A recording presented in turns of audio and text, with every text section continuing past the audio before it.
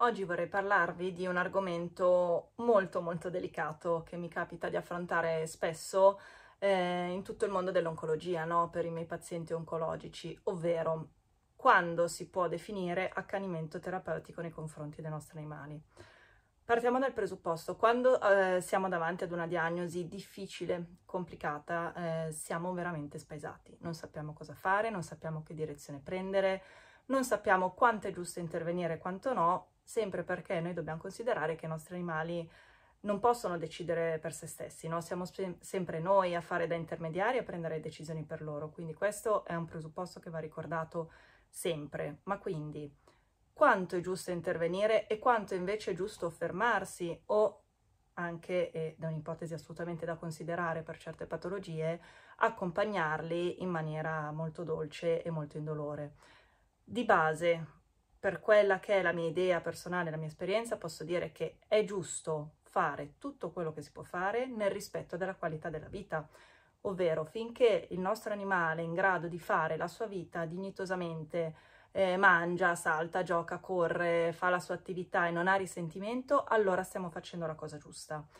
non è giusto andare oltre, se andare oltre vuol dire avere il nostro animale eh, perennemente ricoverato in mezzo a dolori, privarlo di quelle che sono le sue attività quotidiane,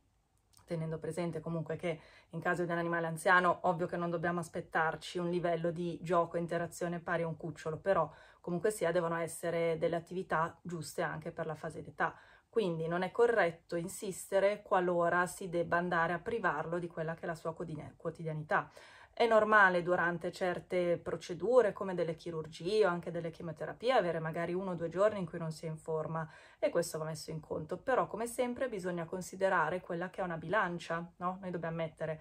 i pro e i contro di ogni cosa, quindi se a fronte di un giorno di lieve malessere, perché deve essere sempre un qualcosa di gestibile, attenzione, se a fronte di un giorno di lieve malessere io posso dare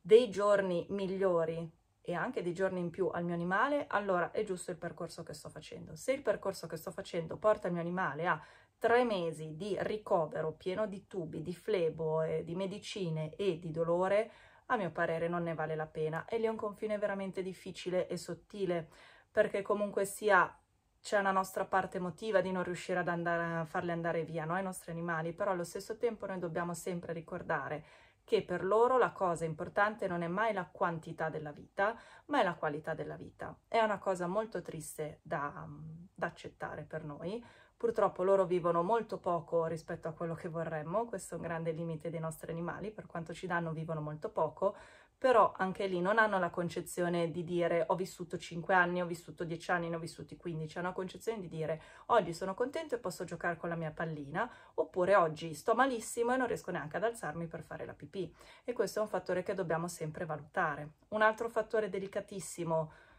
in caso soprattutto di patologie oncologiche, è procedo con una chirurgia, procedo con una chemioterapia, procedo con qualcosa che possa servire anche lì il mio punto di vista è dipende se questa chirurgia, questa chemioterapia ha degli effetti collaterali minimi, trascurabili, controllabili magari con dei farmaci specifici per il dolore o per eventuali effetti collaterali, allora sì, procedo se poi ho un miglioramento della qualità della vita e un prolungamento anche della durata della vita. Se invece sono interventi comunque sia che vanno a peggiorare quello che è lo stato attuale, allora a mio parere è sempre bene riflettere un attimo.